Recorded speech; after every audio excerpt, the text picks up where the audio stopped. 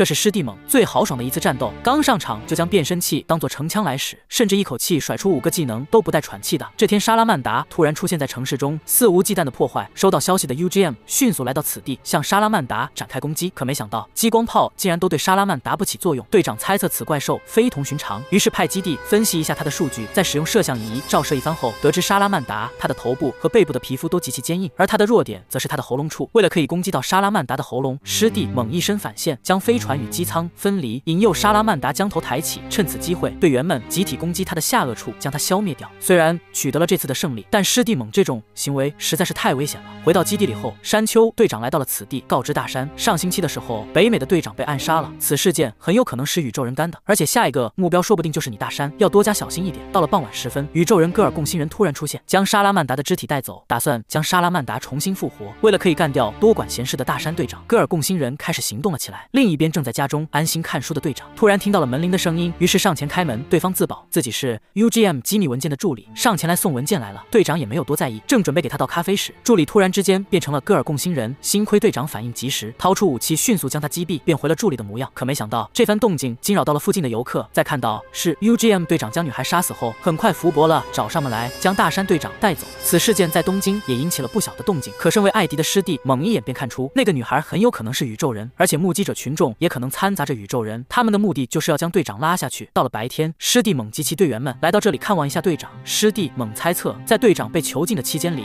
宇宙人肯定会开始行动的，到时候把他们一网打尽，就可以换来队长的清白了。就在这时，门口的抗议者纷纷击破头顶，想要冲进来，而本田他们也只好前去帮忙。只有师弟猛一眼便看出这件事情的端倪，于是师弟猛来到了楼顶上，将自己的变身器安装在望远镜上，使用特殊的等离子电波将他们驱赶走。事情果然如是的猛所想的一样，他们果然是宇宙人。见到计划暴露的宇宙人，迅速离开了这里，并将沙拉曼达重新复活，命令他大肆破坏城市中的建筑。得知此消息的 UGM 集体出动，可却未能伤及沙拉曼达，反被沙拉曼达将其消灭掉。另一边，知道是宇宙人栽赃给队长后，大山队长迅速与师弟盟展开总攻，使用相同的招数，再次引诱沙拉曼达抬头。可是这一次作战计划不太行，一下子被沙拉曼达抓住，将他们的飞机打爆。情况紧急，艾迪迅速登场，将队长放到安全的地方，与沙拉曼达展开对决。面对地方的扫射，艾迪丝毫不怕，学起初代用胸肌抵挡伤害。气愤的莎拉曼达使用火焰攻击，艾迪照样丝毫不怕，召唤出奥特屏障抵挡住他的火焰攻击。下一秒，艾迪腾空跃起，一脚成功将自己干成红灯。几个回合下来，艾迪逐渐落入了下风。没办法的艾迪使出了奥特飞踢，接着使用沙库修姆光线降低他的血量。最后，艾迪使用出了奥特眼部点射，直接将莎拉曼达干掉。